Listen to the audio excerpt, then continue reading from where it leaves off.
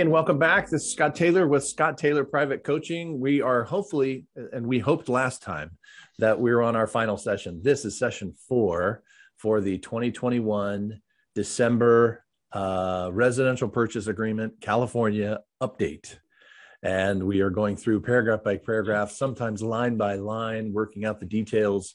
Uh, this is a um, an open discussion, so we have a number of people who are here online that you might hear some voices that pop in with questions from time to time. I have Kate Graham, my mentor, and uh, our broker support backup, as well as a number of other agents that are part of uh, coaching and not of coaching. These calls on the first and third Tuesdays are free. Uh, it's a group coaching call, and it's provided or it's sort of sponsored by my coaching company, ScottTaylorPrivateCoaching.com.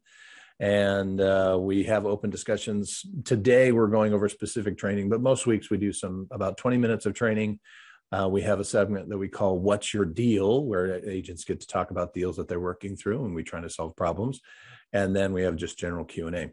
Uh, it's a great thing if you have somebody that you know that's interested um, in participating live, encourage them to join us here and just go ahead and forward the invite.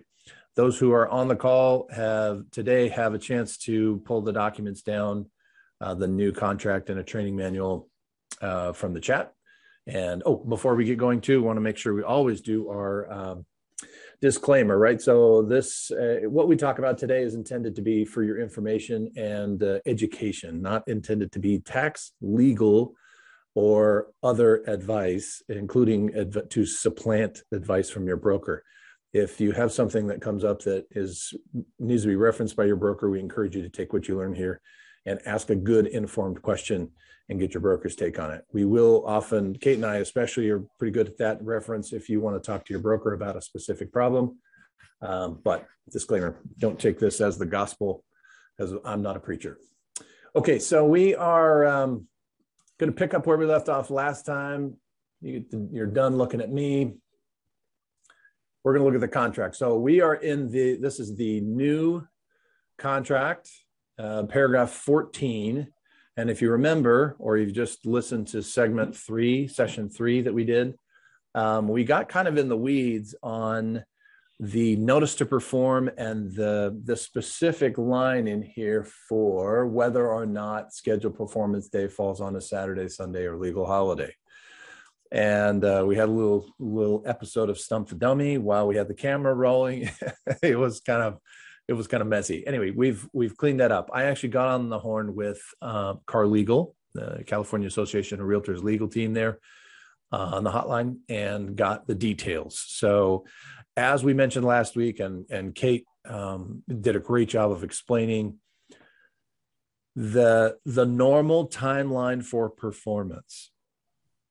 The actual day of performance cannot fall, or if it falls on a weekend or a holiday, the actual performance, the, the demand to perform will actually get pushed till the end of midnight of the next business day. So, for example, if you had a contingency that was supposed to be released on day 17, day 17 was a Saturday, regardless of the notice to perform or a demand to close, even um, if it, if that date falls on a Saturday or Sunday or a holiday, then the actual demand is automatically going to get pushed to the following business day. I, I, always rule of thumb use 5 p.m. on that day, just because that's close of business. Um, but uh, technically, and talking to the lawyer, it actually pushes until midnight. Right, the days start and end at uh, either 11:59 or 12:01.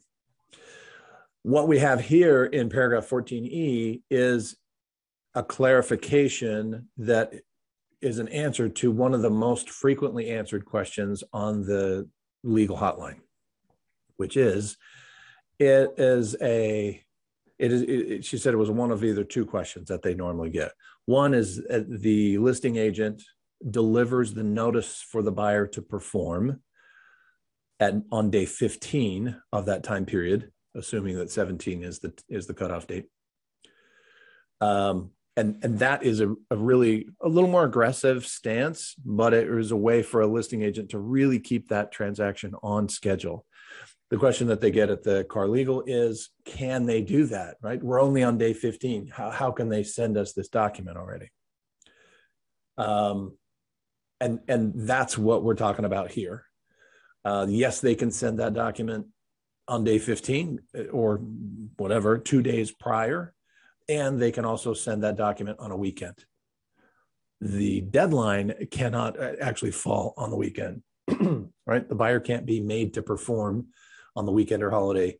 They can only be made to perform on the next business day. So, what we talked about up above um, on the timelines that we had talked about before. All those timelines stay the same. The language that's been added to this contract is only for clarification purposes and to sort of cut down on the number of calls that they get um, there at the legal hotline.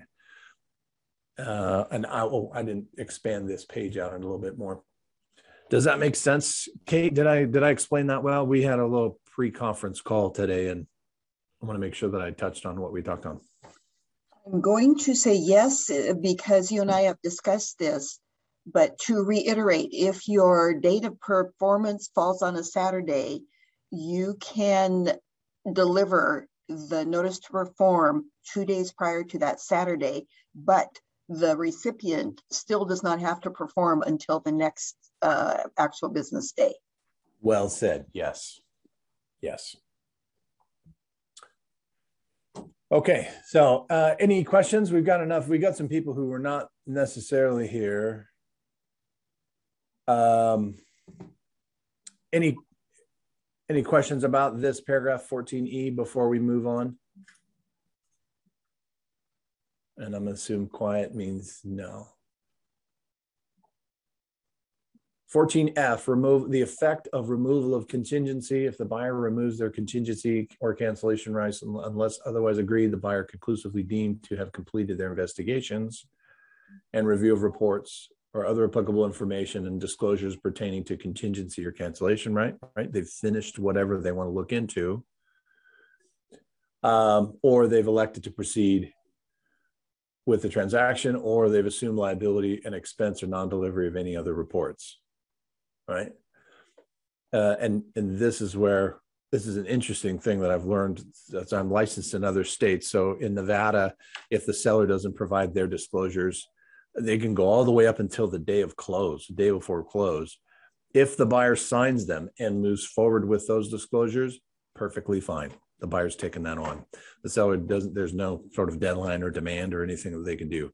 California is essentially the same, other than um, they don't have to release their contingencies until the seller provides those documents, the seller disclosures, and they have five days to review them. Um, if the buyer releases their contingencies, the assumption is within the contract, very clearly written, that they're accepting it, they're, they're essentially taking it as it is. Now we know in some areas of California, they it is the normal practice for the seller, listing broker to facilitate, uh, to provide inspections, home, pests, roof, fireplace or uh, fireplace flue, chimney, whatever. Um, any inspections that would be normal, customary, that would be expected if you've got a sewer lateral that needs to be done, and then all of the NHD is provided in advance. All the seller disclosures are are handwritten and signed and ready to go, and the buyer has ample opportunity to review those prior to submitting an offer. In a case like that, it is very common. I won't say normal and customary because that they don't legally we don't like that language necessarily, but it is very common for the buyers to write their offers then to remove all contingencies. Now, in the area where we practice here on the Central Coast, Paso Robles to Lompoc, Santa Barbara, it's not common for the sellers to pay for all those reports up front and it's really not a good idea for the agents to pay for those up front. And so to expect, even in a multiple offer situation, for a buyer to come in having not seen any of the reports and possibly even not even the disclosures, it's it's uh, unreasonable to expect a buyer to come in and release all their contingencies just to have a stronger offer. And Kate, I want you to kind of weigh in on this too. It's a bad idea. I think it's a bad idea for you as a buyer's agent or even as the listing agent to encourage a buyer to release their or demand the, the buyer to release their contingencies prior to having an opportunity to investigate. Um, what's your take on that, Kate? I absolutely, absolutely agree. Uh, the whole system is set up to uh, keep intact safety hatches for your buyer. So they need to know everything that's knowable about that property before you release anything. As once those contingencies are released, they're 100% obligated to complete the transaction. Yes, or give up their deposit. Yeah.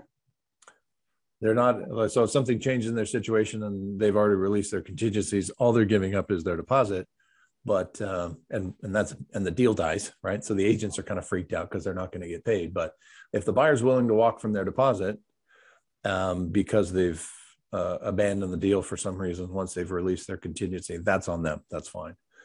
Um, the effect of the cancellation deposit the release of funds requires mutually signed uh, this, this, little paragraph here so if you've ever filled out a um, cancellation of contract form you'll notice you'll know that it's a two part form in fact we do have plans to go over that in one of these calls so maybe you'll see it on the youtube channel in the future but um, the two part form one is the cancellation uh, whoever's doing the canceling either the seller's canceling because the buyer didn't do one of the two things that they're uh, or one of the things that they're supposed to do. There's only two things on the contract that the seller can cancel for. The other would be that the buyer has chosen to cancel and it just references the paragraph by which the buyer is canceling based in the paragraph. The um, the bottom portion is the acknowledgement of the alternate party to release the deposit. So the seller doesn't have to sign. So if the buyer is doing the canceling on the top of that form, the buyer is the one who signs, I'm canceling and this is why. Seller doesn't have to sign that top part. The bottom portion, the release of deposit, um, needs to be signed by the seller because they're the one releasing. And we generally have the buyer sign that as well. But as I understand it, Kate, it's just the the releasing party to sign that one. Is that correct? Uh, I have required signatures on both parts. I do the same just to be safe because we're talking about all the money. Yeah.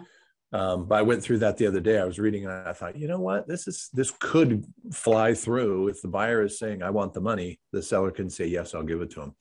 The issue comes if the the buyer says, "I'm canceling," but the seller won't release it. Escrow won't release the money, and then it goes through a whole process of seven days and then 30 days and and non-claim and and then it would get kicked out depending on how much money it is.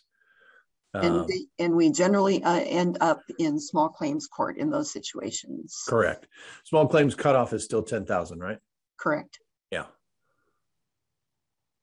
Uh, here also, a party may be subject to a civil penalty penalty of up to $1,000 for refusal to sign a cancellation instruction if no good faith dispute exists. So if the seller's just being cranky about it, they don't want to, you know, they don't like that this buyer has the option to back out on this deal, right? They feel maybe they're being dishonest or whatever, and they just say, "I'm not going to sign it." They don't get their deposit. Um, they have a potential penalty for a thousand dollars, up to a thousand dollars. Um, neither agents nor escrow holder are qualified to provide any opinion whether either party has acted in good faith or not, uh, or which party is entitled to the deposited funds. So be cautious when you get to if you're representing a buyer and that's mainly our conversation today. If you are saying, "Oh well, we're backing out, so you get your deposit no matter what," um, watch your language um, and and check with your broker before you make any big promises like that. Um, any questions? Paragraph 14, we covered a ton of information. Any other anything, Kate, you think we missed, or if Tiffany, if you think we missed any of those? It's a biggie. So, shall um, we restate that the contingencies are your buyer's protection. And yes. once they are removed, it is because the buyer has satisfied himself uh, on everything. And you, I, it's so important to have that conversation. And they need to know if we remove these contingencies, you're 100% in. And if something happens and this blows up, your uh, earnest money deposit is at risk. Yeah, um, I actually like to have an email. I mean, I know that everybody loves the text, um, but and you could potentially say that you text it back and forth, and if you get an app that'll pull all your text out and make them available, but it's just so much cleaner to send an email that says, Please see the attached documents. Please review and authorize before we send them via DocuSign. DocuSign is very, or e-ink or zip ink or whatever. All those sign digital signing methods are all very convenient. Um, but there's a step that gets missed there uh, from a professionality standpoint, uh, the part of the agent to do an actual review.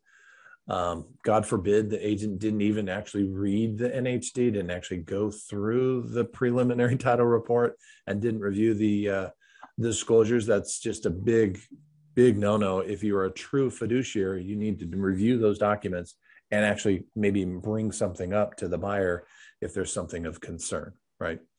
um, that just needs to be part of your buyer procedure. We're not just here to collect the paycheck. You got to actually do something to get it. So um, it's a good idea for you to bring those things to their attention, but you need to send an email to the buyer, make sure that they email back and say, yes, I approve of that. If you have two husband and wife, or you have partners, life partners or business partners, either way, um, good idea to have everybody CC'd on that and get everyone to sign off before in email before they actually sign in DocuSign. One thing I just realized we missed was the demand to close escrow. In 14G, I just skipped right over that and I apologize. There really isn't any changes to this, but I do want to make sure that we, this is serious, serious business when you're getting down to it to demand to close escrow.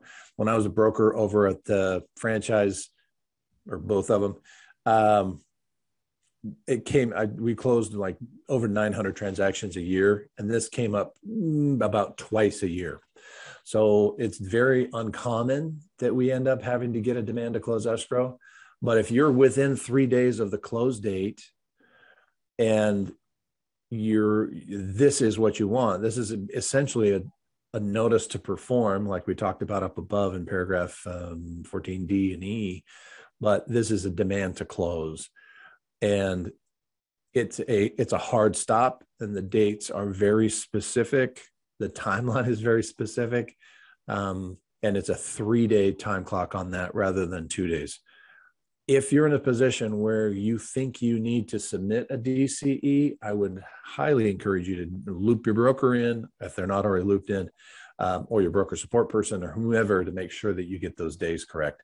We had a, a real expensive uh, situation where an agent had to cough up some commissions and actually the broker cough, brokerage coughed up some commissions as well um, because they didn't follow the timeline exactly correctly. So uh, no changes on this contract compared to the previous one really that i could find in the demand to close but a little a little star for you to lock away in your brain like hey we're within three days of closing escrow. It looks like the buyer's getting funny about it. We need to do a notice to perform. Pull that out of your brain and remember that you got to go to a notice, a, a, demand to close, the DCE on that one. Um, repairs. The California contract uh, in paragraph 15 now is California contract is an as is contract. And I think we've referenced that in the previous paragraphs. They do have an option, they being the buyer, has an option to request that the seller have something repaired or if you look at the repair request, they can either repair it, replace it, um, or provide a, a money or credit in lieu of that. Um, and I won't get into you know any recommendations on how that needs to be done, but we'll just stick to the contract. Repairs need to be completed prior to final verification. If you remember, that's up to five days prior to close unless they otherwise agree to it. Repairs need to be performed at the seller's expense, or repairs that are to be performed at the seller's expense may be performed by the seller. And this is a key thing. So when you're filling out your, oh, I hate how I can't highlight specific lines in this thing. Uh, the seller has the option, unless in the repair request or unless in whatever method that the buyer's agent uses to notify the seller that they need to perform to this, uh, you know, Pop Pop can be out there trying to replace the GFCI in the garage or whatever they're trying to do, uh, unless you clarify otherwise. So it's always a good recommendation. Of course, check with your broker to to make sure you've added in some language that all repairs need to be completed by a licensed contractor or handyman. Now, I don't know if California, Kate, maybe you can help me. This has never been clear to me. Is there a handyman license in California, or is it if they have a license on there, it's some other contractor license? Uh, there is an actual uh, handyman. I don't know if it's a cert or a license. Okay. All right. So I guess you could add in certified or or licensed contractor or handyman. otherwise the seller could potentially get out there and do it themselves. And you know uh, our general rule of thumb when we're getting repairs done is if it can catch it on fire if it can flood it uh, we want to make sure it's being done by a contractor. Why? Well uh, in the event that the repairs don't get done correctly and there's some something that happens in the future as a result of that attempted repair the buyer only recourse would be to go back to the seller and try and squeeze some money out of them. If the licensed contractor is used then they the buyer could then go to the licensing board and licensed contractors have to be bonded and insured and uh, have an obligation to uh, get the warranty essentially their work. And the buyer could actually get things completed and done the way that it needed to be. And the seller can be happy off on their way so it's actually a protection for the seller they'll grumble about it because they have to pay a little more because the license um, contractor is going to cost more than just you know joe from down the street helping you out um, but uh, as a buyer's agent, again, the pro move is to make sure that you have language stating that all repairs need to be completed by somebody licensed or certified. Recommendation on that. Final verification. Spend, oh, go ahead, Kate. I, I, can we spend a minute here? Yeah, uh, let's stop. What, whatever method the repairs are made, uh, seller has the obligation to produce the receipts or the invoices Mm-hmm. And you want to have those to the buyer's agent before they go do their final walkthrough. And um, uh, you, if you are buyer side and uh, the listing agent hasn't produced them, you want to be sure to follow up. And when you go out to do your final walkthrough, take your um, agreed upon repair request oh, yeah. along with those invoices. So you are very, very clear on what got done and how it got done. Yep a lot of times too when they're doing and we're we're jumping to final verification so these two are kind of holding hands together 15 and 16 you get out to verify, final verification and all that crap that was in the garage is loaded into a truck or in a storage unit and it's gone and so you now have access to see more stuff than you could see before buyers are going to want to note everything right there's a ding and there's a hole in the drywall in the garage or there's a, a new drip somewhere uh, that verification and property condition allows them to do that. That's just an opportunity for the buyer to note things. It's not an obligation for the seller to repair them unless the seller had previously agreed to fix it or do some sort of repair before. Um, it's a it's really important to note and i don't i didn't prepare well enough to have a copy of that verification of property condition but it's essentially just an empty page and and the buyer needs to write on there the items that they feel were not repaired or were not in the same condition that they were in when they originally started the escrow. Now, this includes like uh, plants, uh, lawn trim. Uh, like if they stop mowing the lawn or stop watering the lawn, they just let the bushes grow, right? Some of these escrows can be 45, 60 days long, depending on uh, the, you know, the property where it's at and the buyer's opportunity to get financing. So you know you you let in the springtime if you let these bushes grow you let the plants go crazy they will and um, we've had verification of property condition where the buyer noted like i can't walk on the sidewalk to get into the backyard because these bushes are out of control and the listing agent in the end the listing agent sent somebody out to trim those back so we could walk because when they originally visited the property of course it was gorgeous and everything was blooming and there was an easy path in between but 45 days later, things are kind of let go.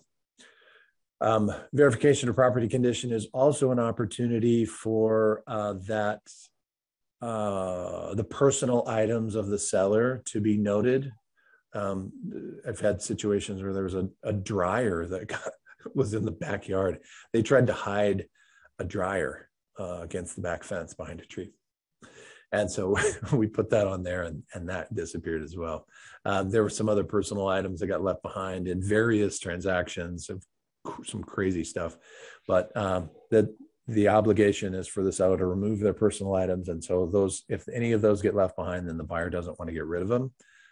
Old fridges freezers just you know ski equipment whatever um, all that stuff needs to be gone.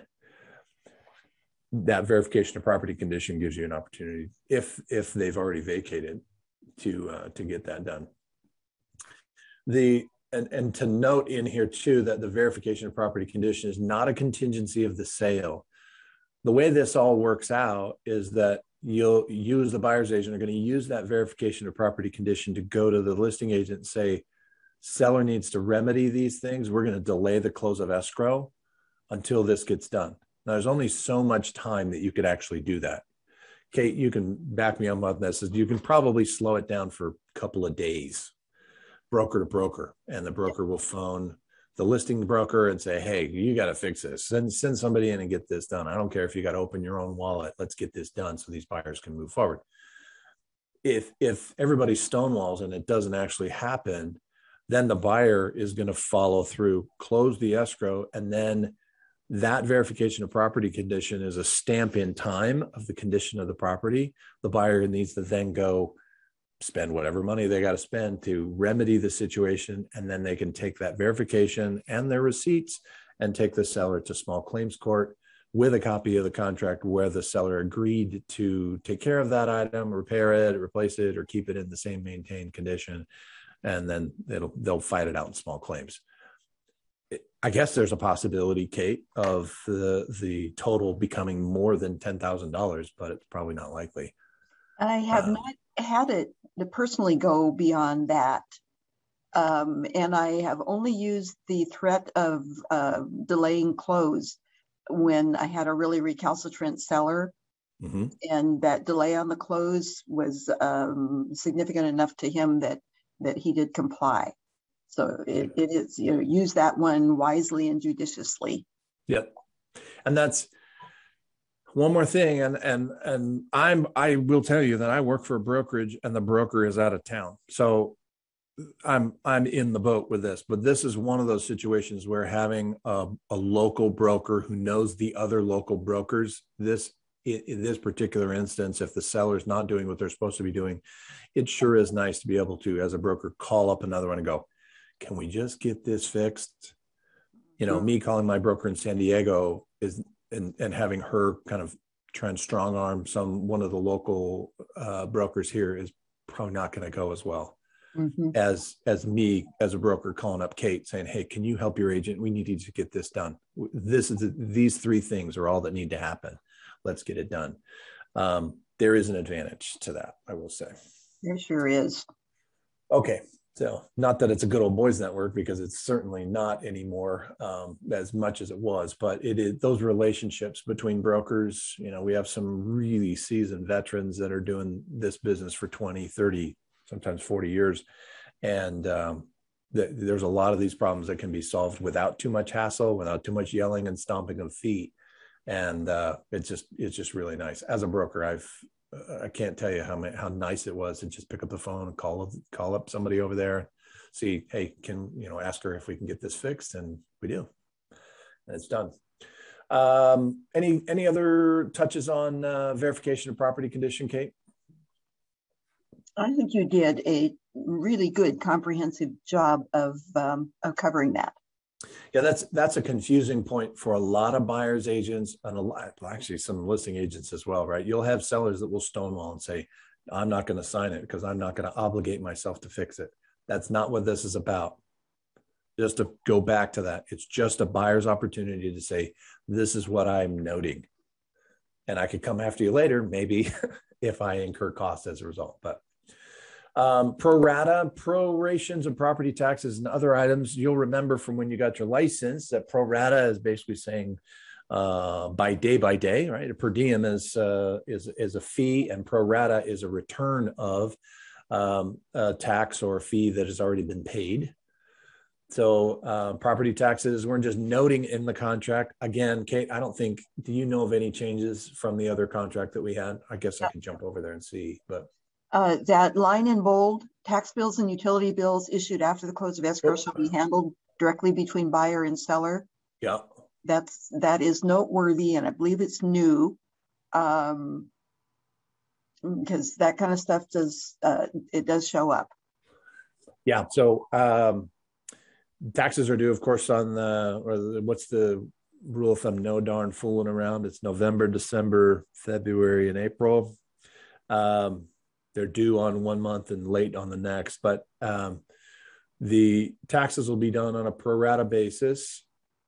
And escrow wants to stay out of this, right? They're just going to take the taxes that are that have already been paid based on the current tax rate. What'll end up happening, especially if the property being sold has been owned for, I don't know, what would you say, Kate, 10, 10 or more years? Uh, the tax rates that they're being charged are different than the incoming taxes. And so the new buyer will get a supplementary tax bill. And it'll ruffle their feathers potentially because they're getting this extra bill and they want somebody to go pay it. So um, that's part of what we're talking about in this uh, is this because the pro rata, the buyer will prepay and pick up where the seller left off. The seller gets a refund on on anything from that day moving forward to the next due date, and uh, the buyer, as you can imagine, would would see that when they go back in and look at the settlement statement they'll be like hey i had to prepay this and they got money back and now i have this bill i need that money from them so i can pay it um, that it's it is a good note to say that again tax and utility bills issued after close would be handled directly between the buyer and seller they got a problem they got to slug it out themselves uh, surprisingly i've had this happen with, recently um, with propane tanks, these big propane tanks that are on the rural properties. And maybe that's just where we are in the market right now. I'm selling a lot of these rural properties, but the there's a you know four, five, six hundred dollars worth of propane in these big tanks, and unless somebody brings it up and we determine how it's going to be broken out, um, the propane company is left to kind of shrug because you know we take ownership on the first of the month and the next visit of the propane guy is the 20th unless the propane company knows that we've closed on the first and they come out and make a, a note where we are in the tank they're not going to know how much to credit back to the seller once that next bill gets logged in and paid and i mean i'm not paying anybody's propane bill for them but it's come up twice in like the last few months and i'm i'm surprised at it but um, that's another pro rata that could be considered a utility bill um, I don't think we're going to have a lot of questions on that, but if there is, give me a holler. And otherwise, we're going to move. We're going to move a little more quickly through these next couple paragraphs. Um, any questions on that proration, proration of taxes and other items? No, but would you mind if we just skip back uh, to restate uh, the situation with the SWPI? Where we uh, we got the awareness that hmm. almost mm. every detail um, of the contract is handled on that big grid on the first three pages, uh-huh. for the SWPI. And what, what you said about the uh, propane tank is uh, what triggered this thought for me, because that is, is where the arrangement should be made about the propane tank and how much uh, fuel is left in it. Let's see, where am I? Um... Keep going, keep going, keep going. We're, included, excluded, smoke alarms, government, point of sale, HOA, home warranty. Keep going. Okay, here we are. Uh, hang on, right there. Um, the you'll see in paragraph 4B, the okay. SWPI it shows up there, but that is not in in the grid part. Ah, um, okay, that's a good so, point. Yep, and you know, new agents that don't know about well septic and propane and all that kind of thing. Yeah, uh, yeah. It feels like that would be very, very easy to overlook. Yeah, if you're new to any particular transaction, right? If all you've sold is condos and you jump into trying to sell a mobile home, for example, or if you're in that price range, or if you all you've sold is regular neighborhood homes and you're jumping into your first luxury home or your first ranch property, always a good idea to loop your broker in, or if you've got a mentor that's assigned to you at your brokerage, um, or if you're paying for coaching from me, loop me into, um, and we can help walk you through that. But that's one of those things that just will slip by, and you think you're doing a great little job at you know being a good soldier and taking it on yourself. If you miss that, you know where they're going to look. If the mistake is made on the part of the agent, um, they're coming to you for that you know what's left of the propane tank or you know whatever else because um, that truly is a mistake that you made that you should have known had you done your job and looped in your broker does that make sense kate yes it does. We just had one of those unfortunate situations go through here. Rural property new agent didn't know about an swpi So he got to yeah land land too is another one of those or you get these guys that want to you know start a cannabis farm and you're jumping in trying to be a helper. You go oh, this is going to be great. I'm going to sell cannabis properties so you know i'll be a specialist. Uh, it is super complicated. Um, you know the i love these agents that jump in and try to do vineyards and wineries and because they want to get into and maybe that is a true interest of theirs and maybe they will be a great expert someday but you got to loop in somebody who knows what's up um, and not get yourself into uh, into hot water. There's a phrase. It's um, "Don't come complaining to me when a wildfire gets away from you when you started the fire." mm. um, yeah, so uh, you got to keep those fires small if you can, so you can put them out yourself, and then loop in, bring in your firefighter to uh, to put that out when it starts getting away from you. My one of my favorite paragraphs in this whole uh, contract is paragraph 18 because it talks about compensation right? I always say this with a smile but this is you know this is compensation will be payable come on close of escrow. Or if escrow does not close as otherwise specified in the agreement between the buyer and seller. And sometimes the seller can obligate themselves to pay a commission regardless if it closes or not. Um, scope of duty is something of a reiteration of what we already deal with at the beginning of all of this when we go through the agency disclosure. Um, however, it, it, does have provide some specific detail that is not addressed in that, and it's an acknowledgement on the part of the buyer and seller that they acknowledge and agree that the agent does not decide what price the buyer needs to pay or the seller needs to accept uh, doesn't guarantee condition of the property. We don't guarantee performance or adequacy of any inspection services, products, repairs. You know, we do our best. We have some connections.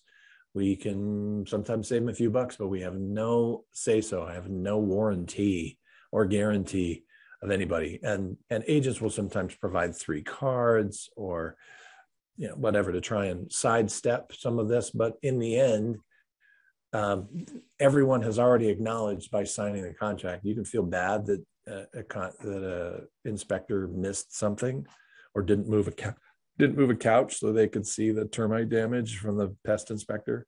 But um, this paragraph is is the protection for the broker and the agent uh, representing the buyer to be uh, is, is sort of a catch-all protection. The AD deals with the agent's responsibility to the client 18B talks about the scope of duty, and, and, we really have a fairly limited scope of duty. It's our job to handle the transactional details. We coordinate and um, administrate these details. It's not our decision. And if you're around long enough, you will have buyers say, What do you think I should do? and it rather than just answer, and this is especially if you're doing business with a friend um, you would want to get back to, and part of fiduciary is understanding the overall motivation of the buyer on why they would want to buy this property. Just remind remind them, bring them back to what's important about this property to them, and ask if anything had changed. Let them come to their own decision rather than make a recommendation on what they should do. Because when you start telling them what they should do, then you're giving you're potentially out of your scope. Any of these things in here are out of your scope of duty. Um, I'm not going to read them all, but if you if you're curious of what your limits and your scope is, or if you've got a, a buddy at the office two two desks down that is giving construction advice or tax or legal advice, um, you can go you can refer them to this and, and help them out, keep them out of trouble. Um, I'm going to move on unless there's any comments. Joint escrow instructions. I really don't spend a whole lot of time on this. This is really just the instructions to your escrow officer, and it takes each of the paragraphs where a buyer or seller makes a commitment or something, uh, and you won't really see agent commitments inside of this document because again, the agent is just an agent. They're not a participant. They're not a principal in this transaction.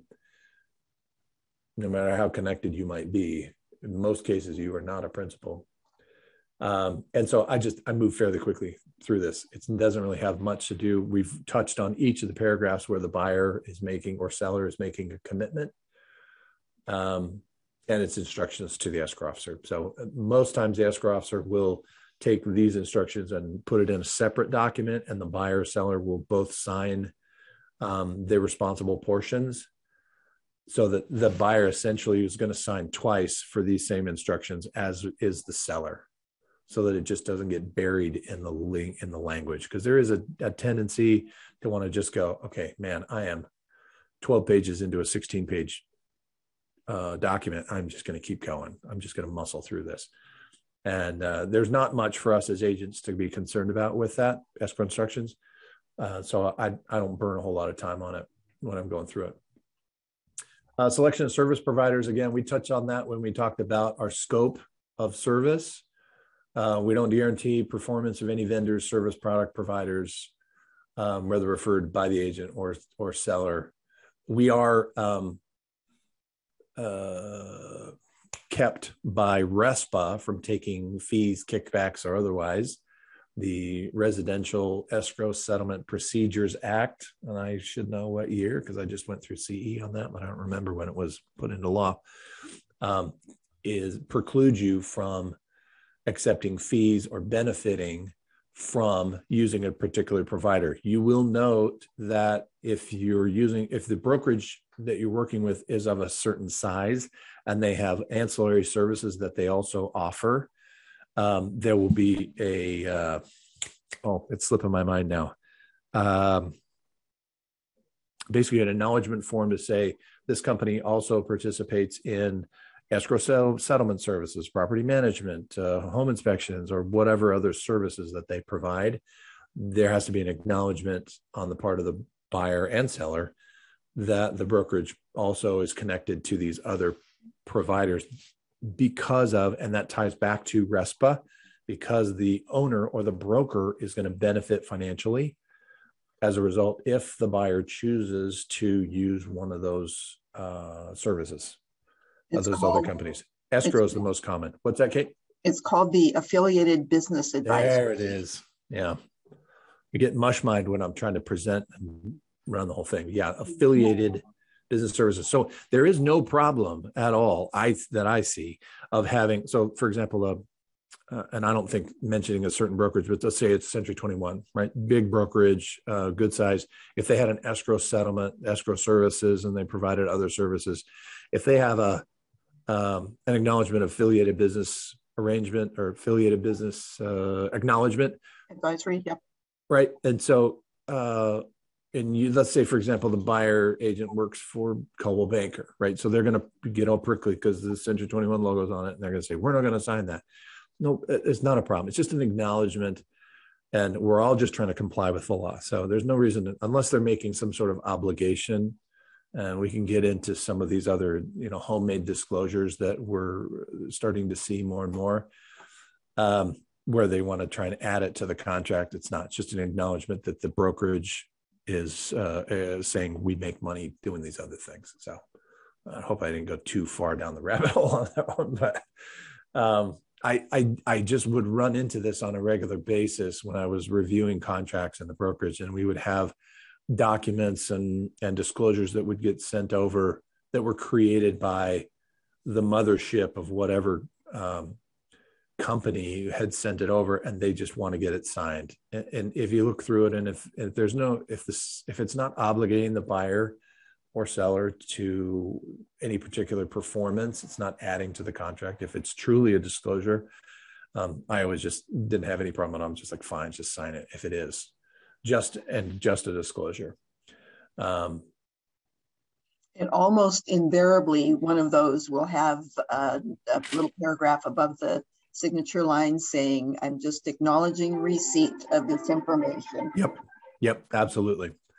Uh, check on that and make sure that's again another little pro move right there for you to make sure that go through that, read it, and see if there's any language that commits the buyer to or adds that document to the contract as part of the commitment.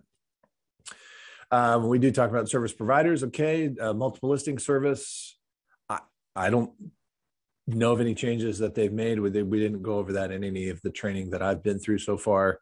Um, it's just an acknowledgement. Buyer and seller agree that uh, essentially the agents are going to report the closing price and the buyer's agent, and if there's any um, consolations that are given um, to get it closed. Attorney's fees and costs, any action proceeding arbitration between the buyer and seller arising out of this agreement, uh, the prevailing buyer or seller will be entitled to reasonable attorney fees and costs.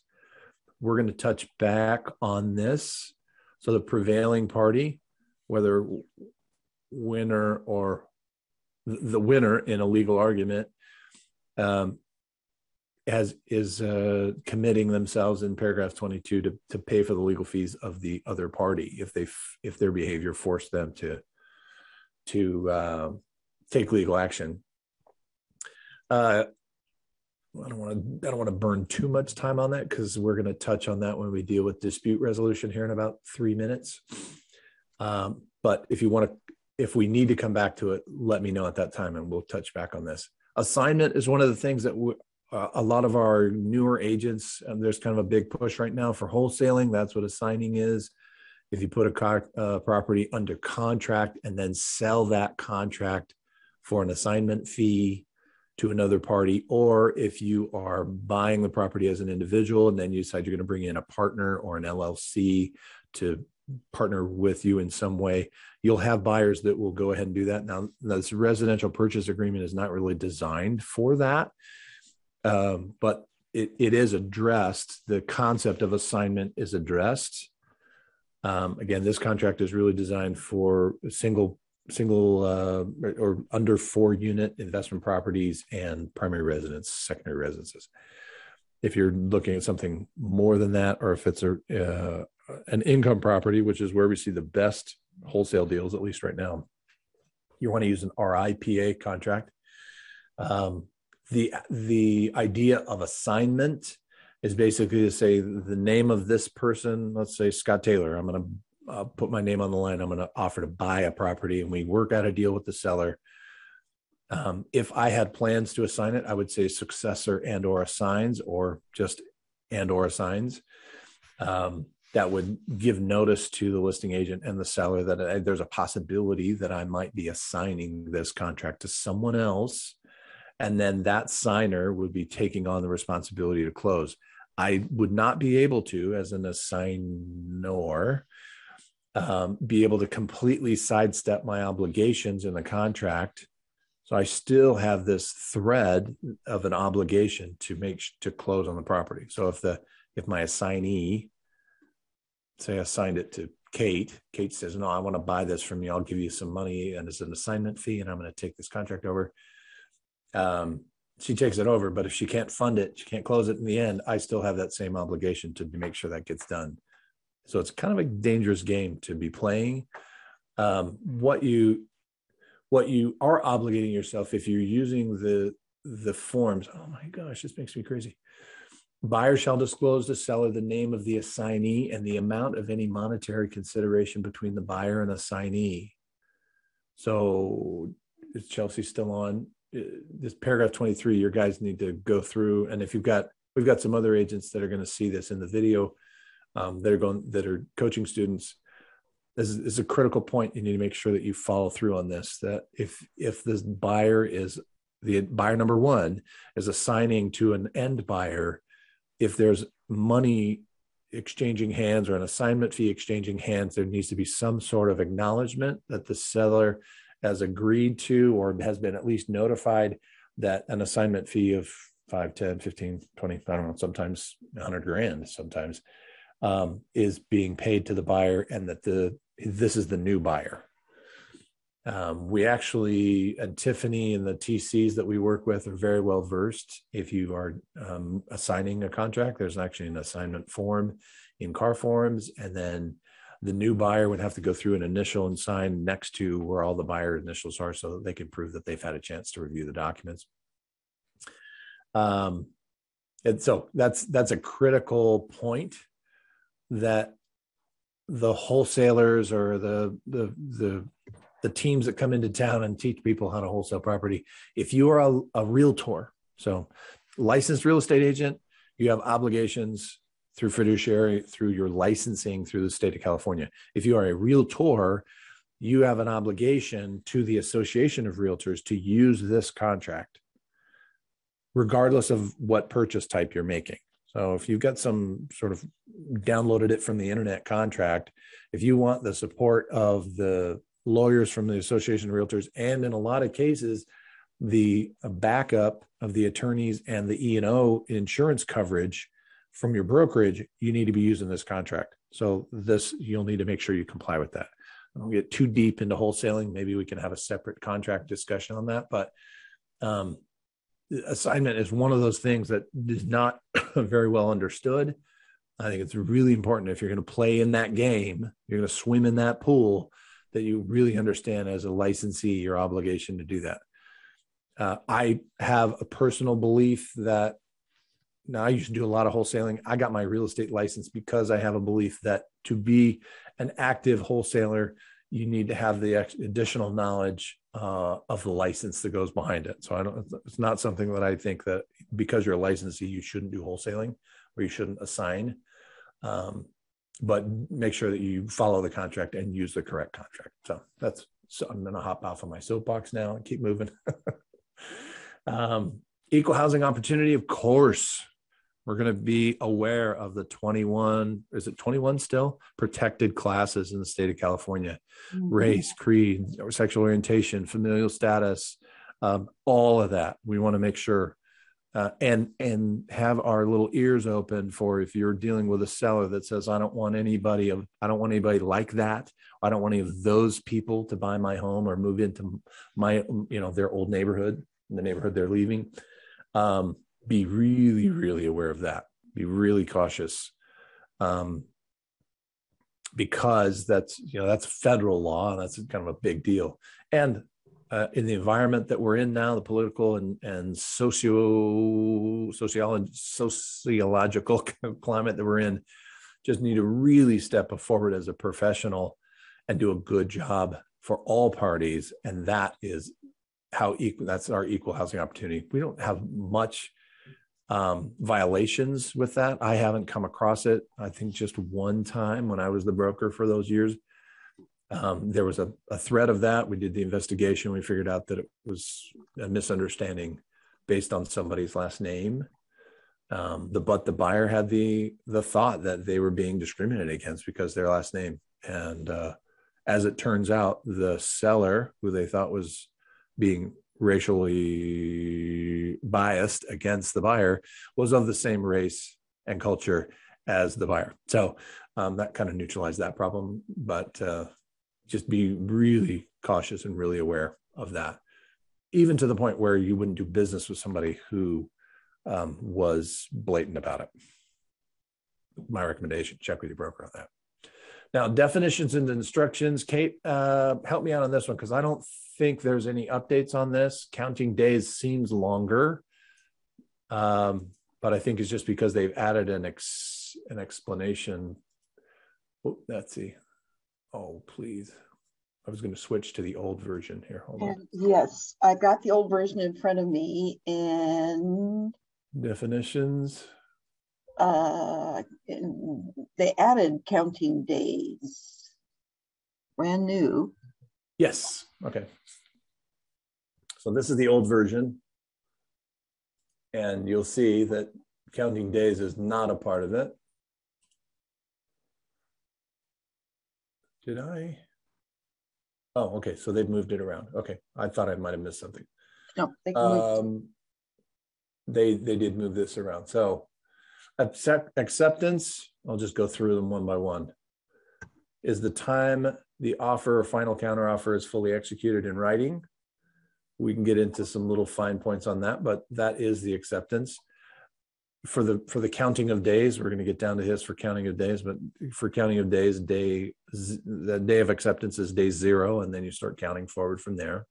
Agent means a broker or salesperson or broker associate of the real estate license company um, agreement is this document, meaning the RPA, but also associated addendums that are attached to it. So if you add that septic well, property monument um, document, or you add, uh, I don't know, other addendums of some sort, those will be part of the agreement. Now, there are um, acknowledgments that happen, right? The wire fraud advisory is not technically part of the contract, but it's part of our package.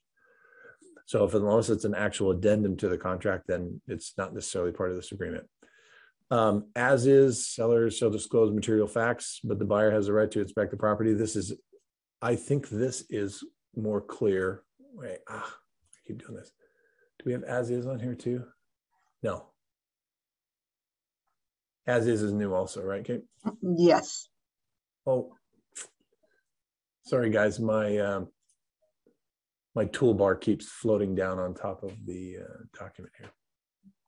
There we go.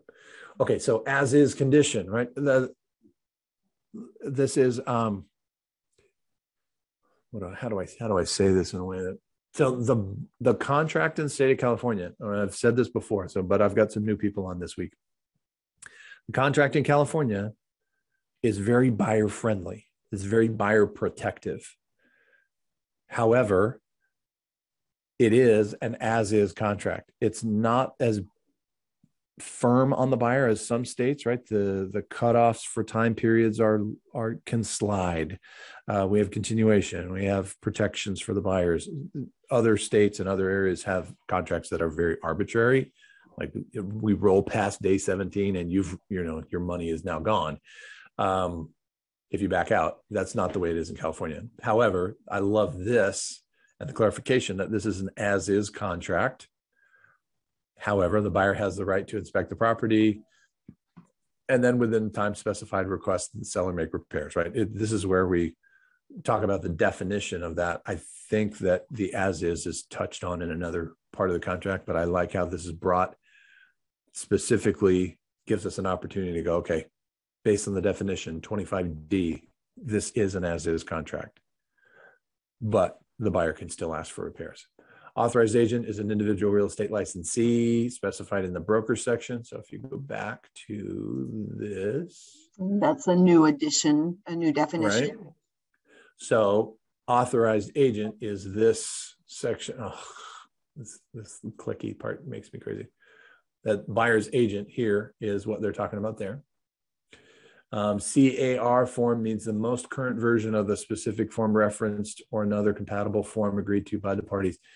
There are situations, new home construction or uh, apartment to condo conversions that I've come across where we we may actually use an older version of the contract only because it's been pre-approved and authorized by the state of California, and just because CAR has updated the contract doesn't mean that that vendor or contractor needs to go back to the state get reapproved, go through that whole process. So if you are dealing in condo conversion is the most recent one that I've seen, but new home uh, construction, if it's a smaller than, oh boy, smaller than 12 units, smaller than 15 units, they may actually get the CAR contract approved. And if it was approved a year ago, they're going to use the older version of this contract and not the newer one. For our basic day to day operations, once we reach at this point i think it's december 14th we'll see right? If they're going to make us follow through on that but um, uh, at this point the after the 14th we're no longer going to be using this older version of the contract. We would use the, the new version right? The king is dead. Long live the king. Uh, that's kind of what we're dealing with but on a contractual situation uh, close of escrow, we know what that means. We love COE. Uh, copy means copy, including photocopy, facsimile, and electronic. Now, um, electronic is defined to be PDF version of document. If you take a picture and send that picture to your buyer and have them somehow sort of authorize it or approve it, a, a photo can be doctored up and messed with more easily than a PDF. So we always want to lean to PDF. I had a, a buyer text me a picture of a computer screen showing that he had uh, secured evidence of insurance for this closing that's going to happen later this week. I said, Can you please have your insurance agent send that to me in a PDF? That's what we're talking about. We want to make sure that when we're um, verifying documents um, or providing a copy of a document, that we're using a, a PDF to do that. Counting days. The easiest way that I've come up with to describe this is again acceptance of the or the day that any document is signed and delivered is considered day zero. And then you begin counting. The key one being acceptance date, um, acceptance of the contract. So back and forth, counter, counter, counter. We get acceptance. That it begins day zero, and the counting begins one, two, three, four. If you get everything signed and done on a Saturday, then and and delivered, then Sunday is day one. Just because you deliver the documents to escrow and they got it on Monday or Tuesday if it was a holiday, they're going to want to say, okay, we got it. This is this is day one for us.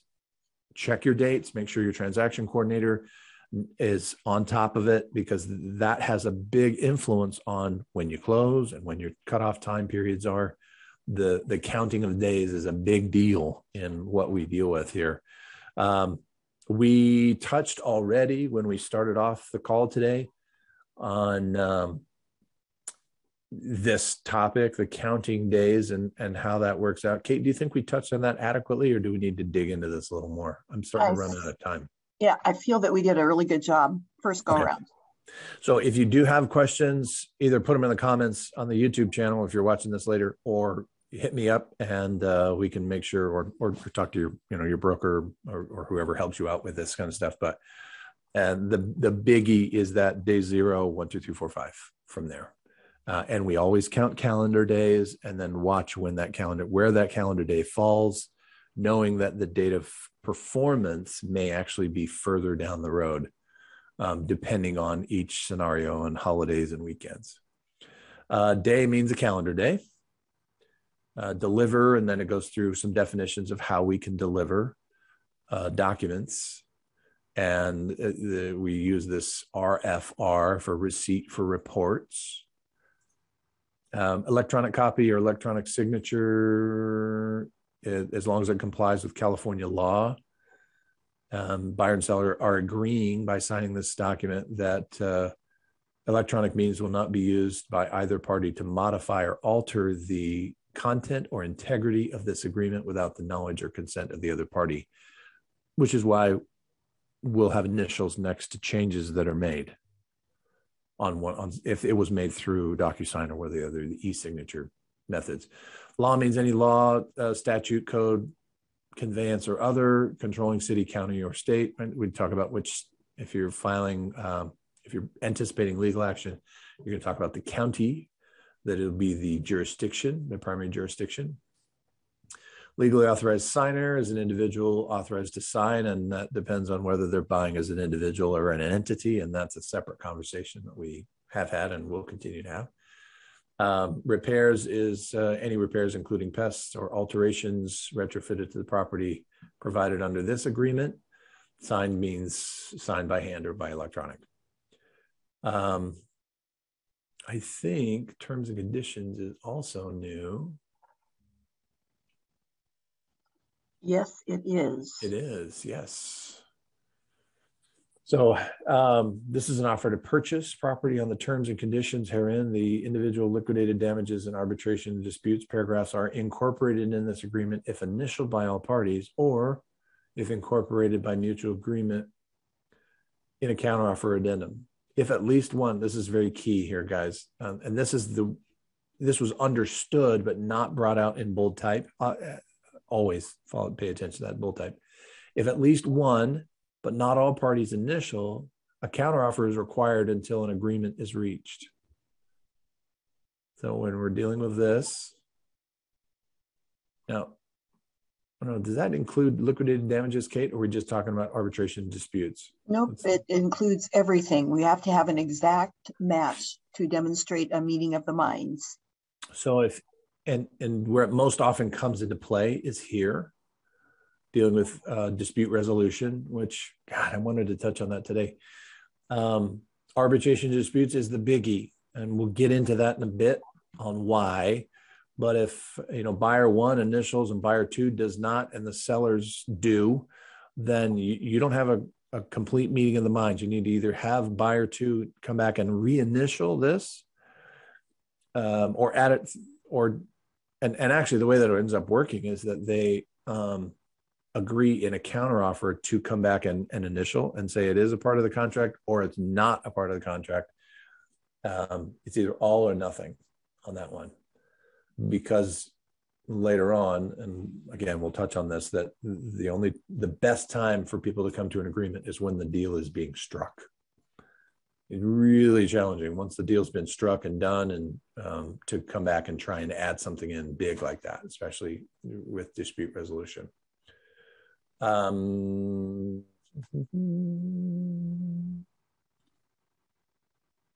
by signing this offer or any document in a transaction, the party signing the document is deemed to have read the document and is in its entirety. Times of the essence is not new.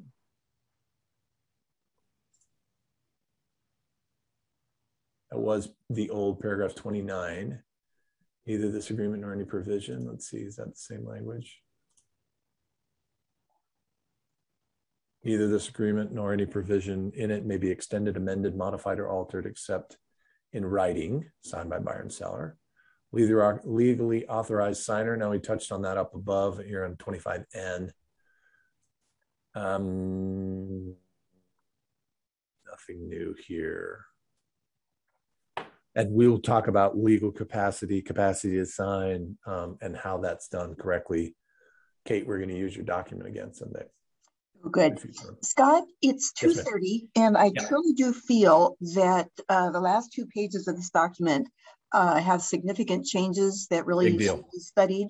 So would you consider adjourning and focusing yeah. on, on those uh, and giving them the attention they need?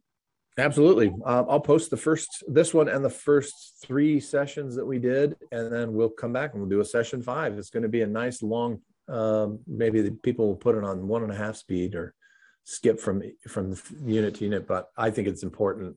Liquidated damages is a confusing concept um, at times, and then the whole dispute resolution. As you know, I have a whole twenty minute ch- uh, talk on dispute resolution and and how best to have that discussion with the buyer. So let's touch on that next week. Next week is actually the first Tuesday of December, so let's hit on it, and then we're supposed to start using this contract on the 14th. So we have plenty of time if everybody's cool with that, let's do it.